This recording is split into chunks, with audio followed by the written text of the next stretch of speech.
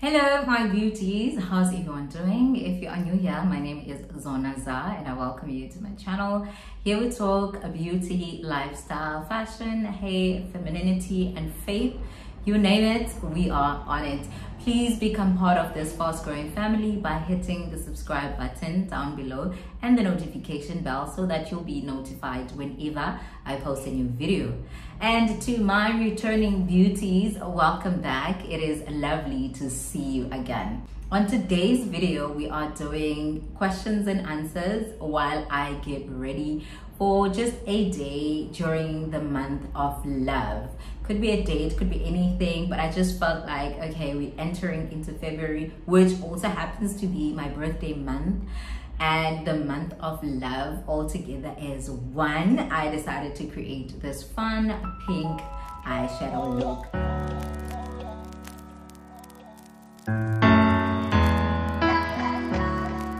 The first question says how do you maintain your relationship with god especially in hard times when prayer feels pointless? Just speak to god you know most of the time we want to have structure to our prayers you know pray in scripture. But sometimes you just feel like okay well even the scripture is not coming to mind to deal with what you are going through. Like there's no scripture that you're thinking of. So for me i'll just have a conversation with god uh, like person to person and say look god I'm going through this right now. I need you to come through for me. My father, my father, this is going on. I've prayed about this. I've not seen any change yet. Please, um, whatever lesson that you're teaching me through this, give me the strength to endure. And there's different ways to pray. There's the prayer of faith, there's supplication. So sometimes a simple prayer of faith, like this one that we're talking about now is all you need. But just to caution you just watch out always and and pray even if it doesn't feel good to pray. When i feel like okay i've exhausted even this conversation thing i'll just switch on some worship music and worship worship my sorrows my worries away. And I'll be intentional with it. I have my own songs that I know if I play this one, I'm going to cry. That's for sure. I'm just going to cry out to God because remember, the Holy Spirit intercedes for us. You know, it's those moments where you know He is there right in your heart, knowing exactly what you need. Keep that faith every single time you feel like you are not able to pray. And sometimes we worry ourselves about praying about something that we've, we've already prayed for. We are just not patient enough to see it come to life. And we have this particular timeline in mind wherein we feel like the prayer should already be answered. So chances are the time you are worrying and not feeling like praying, God is already up to something. Or even that silence, what seems to to be a silence to you or a delay is actually the answer that you need. I don't know how many times I've prayed for things and God does not give them to me. And I later realized that, oh, okay. So that is why you didn't answer that prayer or you kept quiet. So that was the answer. You know what I mean? Because remember, we're dealing with sight beyond what we see. God has, He sees everything, He knows people's hearts he knows every situation, the behind the scenes of what we think we want. Anyway, I'm gonna use this uh, palette from Nuvo Ink Beauty. They gifted me this last year. I've used it a few times on my clients. When you don't feel like praying, when you feel like prayer is pointless, just talk to God. Have a simple conversation. All these things that are worth having and that make us better don't always feel nice you don't have to feel nice to pray. You don't have to have an emotionally charged relationship with God. We must teach ourselves actually to trust God and be sure that things are going to work out regardless of how we feel. The next question How did you meet your hubby? All these questions are all over the place. There's no particular area because I said anything goes. We met on Facebook. We have a common friend. So me and this common friend went on a friend K. So my friend posted our pictures. My husband saw me on my friend's pictures and then sent me a friend request. I saw him and believe it or not, instantly I saw that mm, this guy decided not to accept his friend request because I was just going through a stage where I wanted to be single. You know, I wanted to just chill out and see things and just experience myself just being alone i noticed that okay he's a believer as well from his profile it was public so i was like okay. But never accepted the friend request. Just left the friend request there. Because i didn't want him to add me again or to see that i rejected him. So i just left it there. And then this one time I was going through my Facebook, I accepted his friend request. And then he just started to like my pictures all the time, just liking my pictures, just making sure that I notice him. And I did notice him. It was easy to notice him when I'm telling you that from the first time that I saw the friend request, I started to look at him and all that. So he would comment on my pictures complimenting me and I would ignore his comment. I'd never like even say thank you or whatever. I'll just keep his and I don't know. I was just being, I guess, childish. I don't know, but I just didn't know what to say. I don't want to seem overly eager, but I saw that mm, he wants me to notice him. And then this one time, he also commented again complimenting me. And then another common friend of ours also com commented on the same picture. I responded to my friend and i skipped his comment. And then he came and commented on my response to my friend's comment. He said oh so you do respond to your friends what does one do to become part of the elite and that gets their comments responded to Yo, I was so embarrassed. I laughed and I said, I'm sorry about that. Thank you so much. Called him by his name. And it's like, yeah, you're welcome. You're so beautiful. I was blushing. I literally jumped when we finally spoke. So guys, it's so hot. I can't open the aircon while filming. I really, I felt so bad that he had noticed that I was ignoring him the whole time. So after we had spoken on Facebook, I sent him on like on the open post. I sent him a DM and I said, are you happy now that I've responded to your comment? Responds and says, I am more than happy, but you know what would make me even happier? And I said, what? he said, if you could give me your number so that we can have a chat. I'm like, what? Why do you want my number? Guys, listen to this old man's pickup line. He says, because I want to invade your space. I'm like, what do you mean invade my space? You know, get to know you, be close to you, call you, and we have endless conversations I'm like, oh, okay, straight to the point. So you want to invade my space? Invade my space, you did. I mean, I mean, I mean, I'm still here. You, you changed my surname, everything. And then I gave him the number. He called me immediately. We spoke. I'm telling you no lies. On that first call, we were on the phone for one hour, 30 minutes, just talking and I remember I was driving from work and my son was already away for the school holidays. So I was not even rushing anyway, put him on speaker in the car, just driving slowly and just chatting, chatting. He asked me about my son. I think he had seen a picture of my son. He says no, he doesn't have any kids. I'm like, oh, lucky you, just jokingly. And I say to him, how did you manage to, you know, stay that way because guys let's face it a lot of young people these days have kids. He said, no, I didn't grow up in a formal family structure and I've always wanted different for my kids.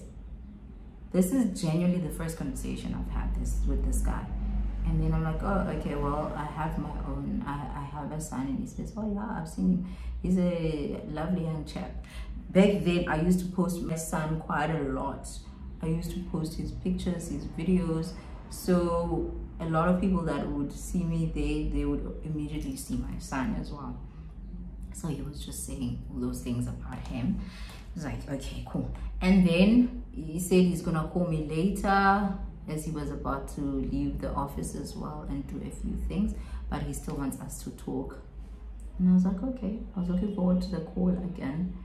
I felt I don't have to play any games. I just can have an open conversation with the guy. I just, you know, instantly felt like this is the kind of person I'd, I'd talk to. Around eight, he called and we talked about lots of things again and then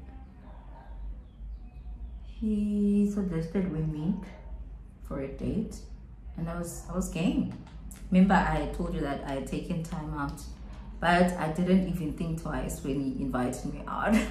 I was like, okay, we'll, we'll do it. And then he initiated a day and I said I'm not available, but I was. And then how about a different day? And then we agreed on that day long story short i went on that day it's a little noisy today i hope you're not that distracted and you can still listen to the story so on that date yeah i was bright and early guys. I was so early. Ah anyone who knows me knows that i struggle with this. It's something i've had to be intentional about now being on time. But for that date trust me i was there. I think it's the only time that he can say I was ready before he was because I got there and just as I was arriving at the mall, he says, okay, I'll see you shortly. So I arrived there before him. So in about five minutes of me there, he arrived and I was like! When I first saw him, I was like, oh, okay. Ah, I can dig. I remember I, I thought he was short when I first saw his pictures when I was going through his page, but when he arrived, he was not as short as he looked on the pictures. I was like, oh, okay, whoever's been taking your pictures is not doing a great job.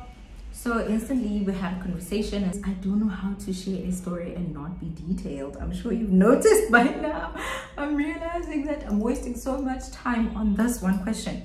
At that restaurant, we stayed there up until around 10. But midway through the date, we started talking about a lot of things, our religious beliefs and all that and then I quickly ran to the bathroom and I was looking at the mirror like, whoa, girl, this is the one. I tell you no lies. I knew right on our first date that I had met my husband. I to myself, the search is over. Second date, we talked some more. We dated for a while, then we took a break. I'll talk more about this on my dating advice video. We got back together and we got married. So that's how I met the love of my life. Long story short, you guys do not ignore those inboxes, you know.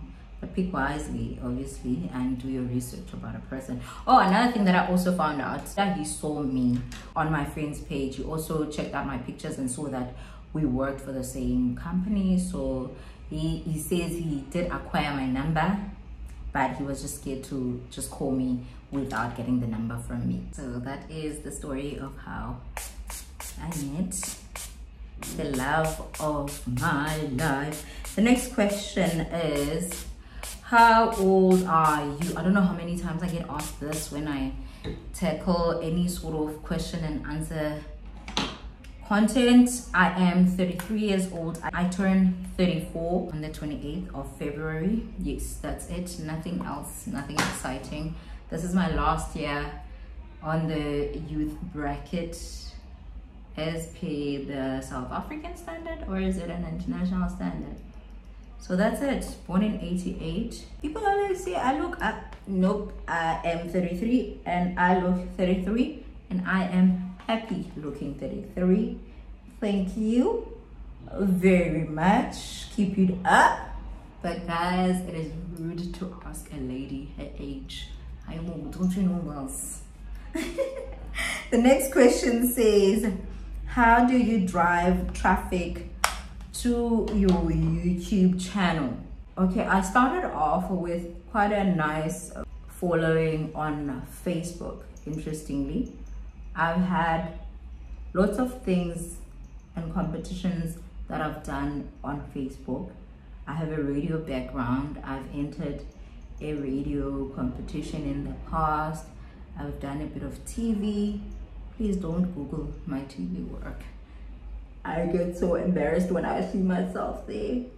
So a lot of the people that I have on my Facebook know me through all that previous work. And the TV work is quite old, guys, almost 10 years now since I did, it's over 10 years actually. I did the work in 2009, straight out of varsity. So a lot of people that I have on my social media, on my Facebook, are from those days, believe it or not whatever project I've done, I'll always call on those people on my Facebook to say, please support me on this. I've entered a radio competition, which I never won, which my friend, whom I met my husband through, actually won for that radio station over the years. The people I have on my Facebook account are very supportive of my endeavors. And of course, the makeup clients, I have a lot of clients with my makeup that I have built great relationships with. So for someone who doesn't have any of these things that I'm talking about, I would say use the relationships that you already have to get people to support you. I was getting everyone to subscribe. And I'm giving this information being fully aware that I've not arrived yet. I don't feel like I've arrived at all when it comes to my YouTube. i am only at what, 13 points six as of this morning so i've not arrived yet but whoever's asking this feels obviously that i'm doing better so use those relationships that you already have. Use whatever traffic that you have from other platforms and drive it to your youtube. It's important to start off with what you already have to help you get recommended more and to get those numbers going. Another tip it is to when you create maybe i can do an, a more in-depth video on this. When you create your content it's important to use stuff that's already in demand and just personalize it to yourself you know try not to introduce like brand new topics that no one is searching for i did a lot of research before starting my channel I learned of this concept of identifying the person that you're speaking to. This is not exactly niching. Having a niche, I feel having a niche can be very limiting. For example, if I had said that this is a makeup channel, then I wouldn't be able to do a lot of the things that I'm able to do. But have an idea of your viewer. So the idea really is to have whatever few people that you have managed to get to watch your videos being satisfied and rating your videos up so do create that ideal person that you're speaking to i know mine i'm targeting people that are around my age mid 20s to mid 30s i know the issues that i've had challenges with in in these ages. I'm not talking hearsay. So i'm just being that girl who's starting the conversation that you probably are having with your girlfriends or you wish someone would chat with you about these are from experience and on personal research. So it's really important to know who you are talking to because you want to retain who you already have and keep happy who you already have. Another way that is quite organic that i managed to get people coming in to watch my channel is to support other channels. For me i feel i feel like learning from other people that are where I am, that are relatively still starting out, make things better for me. I comment and engage on their content. I ask questions. They are still humble. you know, as compared to just worrying about um, trying to be smart money who's already made it big. Just chatting with everyone who is around about at the same stage that you are in they will be more willing to help and they will be excited to have someone reach out to them that's been the case with me so yeah those are the few things that i can think of at the top of my head. Do let me know if you want me to do a more in-depth video regarding this subject. On to the next question. How do you stay away from sexual sin in bracket fornication as a single christian woman?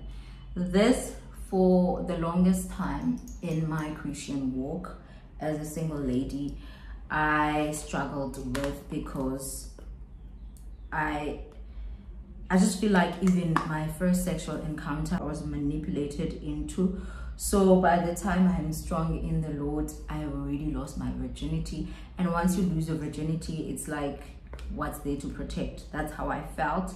So in hindsight, for someone who is trying to, you know, get their house in order, just know that this is obviously for someone who has lost their virginity. Just know that you still have value. You still have a lot of you to protect and there is grace. That the fact that you already are sexually active does not mean that's where you should be and you shouldn't care who you sleep with and, and just go ahead and do it. That's not the mindset. God can renew you as he did my life. I was renewed from many years of feeling shame and guilt. Another thing that helped me to steer myself back into caring about my body and preserving my temple and not fornicate even though I had already started. I once came across this video by Juanita Bynum and she was talking about the dangers of fornication. The name of the video is called No More Sheets. I think once you understand the depth of what you are getting yourself into when you have sex, it helps a lot because most of the time in the church we are just told not to have sex and we know that it's a sin but when you don't understand the depth the the spiritual connotation to it and all these bonds that you stand to make and how dangerous they will be for you going forward then you will see why god says we need to preserve ourselves as opposed to just being told that don't have sex and you don't even know what the ramifications are. You just want to enjoy yourself. Get to understand why you shouldn't have sex.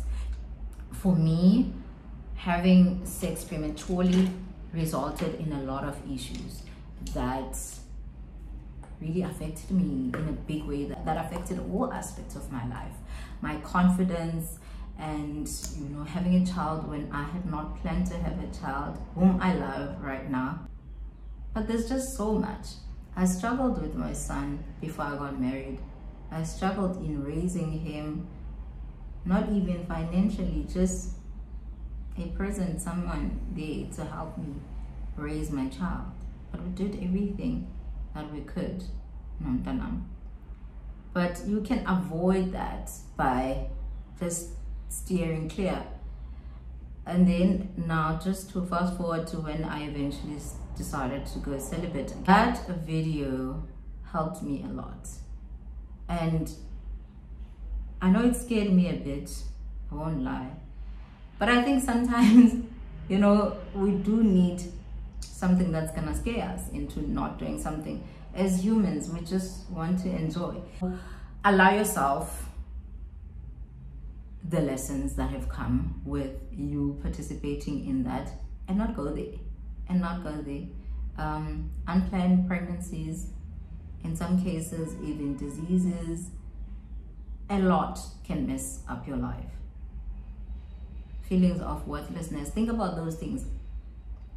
And most importantly speak to god about it speak to god about it ask him to give you strength to preserve his temple. He can't make you and not give you the mechanisms to maintain. Avoid situations where you have to justify yourself or you have to wave off someone wanting to have sex with you. This will be being in intimate settings with someone you know you don't want to throw yourself in situations where you have to exercise restraint especially if you've had it. So you know what what it is as opposed to someone who doesn't even know. Don't try yourself you know. Don't don't thrust yourself there. And just just know yourself. Know that whatever you're doing is for yourself it's not to prove a, a point to anyone, but you're preserving yourself for yourself. You're not trying to prove a point to the church that you can go without sex. You're trying to look out for number one. Because sometimes we we don't see the actual value in preserving ourselves because we attach it to institutions and forget about the surroundings and what people will say. Know that you're preserving yourself for yourself. And talk about temptation to someone that you trust obviously not someone who's just gonna say hi scratch for me just do it. Talk to someone that you trust and say you know i've been battling with this. I've just been feeling like doing it. Just talk and they will advise you. This next question is are you going to resign from a full-time job and become a full-time content creator? Uh, no not at the moment. That is not something that i feel i am ready to do because with my full-time job i do pretty much what i do with content creation. It's part of the things that i do there because i do marketing i do social media monitoring. So at this point i don't feel like it is something that is holding me back from anything. I don't feel like my full-time job has interrupted my flow because there's a lot of leeway there to do all this content. In perfect harmony together and of course with the makeup i do makeup on weekends so nothing about it clashes yet. Plus i'm not making enough money with content creation to actually say i quit.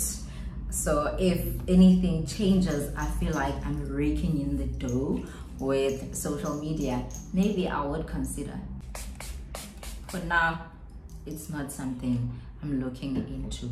But god has a bigger plan. So if he leads me there, then I would, I would gladly shift into that direction. The next question is, how does it feel to be a God-fearing woman? To be a God-fearing woman for me, actually, I always think of myself as a child of God as opposed to woman of God because I feel like as a child of God, that's who I'll forever be. And as a woman, yes, there is a great comfort to knowing that I'm a woman. But when I come to God, I want to be as vulnerable as possible. I want to be as myself as possible. I'm forever trying to remind myself that I'm a child here. This is my father. This helps me to allow myself to have my faults and come boldly into his throne of grace and say, this is me i'm your child love me. Uh, because i don't know i just feel like when i start to think of myself as this woman of god which i am yes i don't want to let that go to my head. I might start to feel like i'm independent i'm doing this i'm so grown and all that. I'm gonna remain a child of god forever. And to be god-fearing for me means I yield to God's way over my own. I am forever wrestling to be that girl that God wants me to be. I never feel like I've arrived and I know for sure that I will never arrive until I go to him and he says, well done. So for now, I always just treat myself as a child of God, to be directed by him, ready to be provided for by him, to be comforted by him, you know. I'm a baby. I'm God's baby. So it feels great to be a God-fearing person. It feels greater to be a child of God. Will you be doing any collaborations with other women content creators. Uh, yes, if you remember, I've done a collaboration with my friend Onela, but for future, I don't know, there aren't many women where I am that are doing YouTube or like maybe in the social media space that I genuinely connect, that I know on a personal level. I don't want to have something that's so fake and so planned that we have to script it even, you know. I want to do things organically. If I meet someone as the year goes and they're keen on working together, then yes. If something happens, if we meet and we talk things out and we were, we have a great idea, then I'm open to that. I'm, I'm big on collaboration. I just still feel like it needs to be genuine. It needs to be a real conversation. Otherwise, I don't want to pretend to be something I'm not or have the other person come here and pretend to be something they are not. I know maybe you're talking about just doing content, maybe doing hair or doing makeup and all that. Still, I, I like my content to have a lot more meat than just a look, creating a look. So I feel it would be legit if I bring in someone that has pretty much the same views as mine. We don't know what the future holds. I'm open. I'm open to it. So yeah. Last question says, with your most recent fast, was it a whole day and night or did you break at a particular time each day? And the answer is it was a partial fast. So that means at a certain time of the day, I would break. Our breaking time was six o'clock wherein we would gather as a church and pray on some days that you because i did a corporate uh, fast this time on days that i couldn't go to church because maybe i'm cooking or doing something i would pray at home. During that fast everyone managed to be at home most days. So i would pray and before breaking the fast because remember this is not just intermittent fasting this is prayer related. Maintaining myself throughout the day. At the times I would be eating, for example, just feeding my spirit because the, whole concept of fasting is to starve your flesh and feed the spirit. So I would read the word of God in the morning, midday, afternoon, and I'll permeate my spaces as I always do with worship music, just to make sure that I'm in that constant zone for the free flow of the Holy Spirit. How do you deal with office drama if you've had any. Yes, I have experienced something like that at work and I felt like the boss lady was just you know trying to monitor me as a person to to manage me not my work you know just wanting to know what i'm doing and all that just micromanaging me i decided that okay i'm gonna try to do everything to my best abilities to give a list to talk about but I'll continue to see it continue. I remember at one time I even cried at work. That, that was the first and last time I ever cried. This road is so busy, guys. I'm sorry about the noise. So after I had cried, I actually went back home and I told myself that that's the last time that something like that will ever happen to me. I'm never gonna cry again at work. I walked up to her and I told her that I'm not happy with how you've been treating me, the way you're speaking to me in front of other people. I don't appreciate that and it needs to stop. I'm not your child here. I'm not your child. And since then, she was like, oh, okay, I didn't know, da da da da. And ever since then, it stopped because I spoke out. Because I feel like some people get away with a lot of things because we don't talk, you just endure it. And also covering your back, just making sure at first that you are doing everything as you should, that the person doesn't have anything to pin on you going forward. You don't want to say someone is just giving you a tough time when you are not doing the work. On this last one, I almost forgot about it. Anyway, I'm finished with the makeup. The question is, what was your first reaction when you discovered that you are having twins? I was, I was shocked, but not surprised. I don't know if that makes sense. Because right after we discovered that we're pregnant, my husband just said, we're having twins. And I told my sister as well that I'm pregnant. And my sister was like, you are definitely having twins. And I was not showing. The pregnancy symptoms started when I was literally just two weeks pregnant. So you can imagine, I was just feeling sick. When I told both of them about it, I was not showing. So I can't say they saw the tummy that was big. My sister was just like, yo, I can just feel it. I'm so excited you're having twins. And they kept saying that up until we had the appointment. And then went to the appointment and then the pregnancy was um, confirmed. And then obviously between, I think it was in 16 weeks or 18 weeks, somewhere there, then we discovered that we're having twins. I was shocked that what my sister and my, my husband had said is actually confirmed. I actually did want to have twins. I remember Beyonce had just had the twins, I was obsessed with those kids being a boy and a girl and I would always keep pictures of boy and girl twins on my phone but when it actually happens and you had not even prayed specifically about it at that particular time it's still a shock and a lovely surprise. I also even saw a book yesterday that me and Milani got a few years ago that had twins and we were so happy about that book, Boy and Girl Twins, that we kept it and we kept thinking, oh, we're gonna have twins in our family, Milani would always say. So it really was a shock that it really happened from all those years believing for it and forgetting about it and then actually see it happen. And my husband was always excited about anything to do with twins. After we had met, when we were talking about having kids and all that, he would always say he wants twins and he believes he's gonna have twins. Even on his Instagram, on his archives now, we just saw that he posted something with twins. It was a video of twins and he wanted that for himself.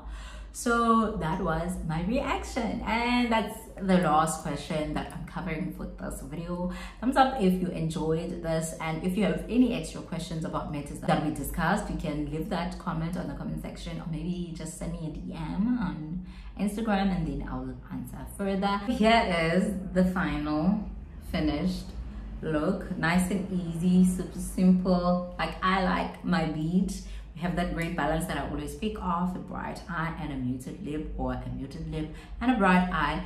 Obviously, I went for a bold eye. What do you guys think? Please comment in the comment section down below if you enjoyed the video and creating this look and of course if you do create this look please tag me on your instagram okay i'll see you on my next one god bless you and i love you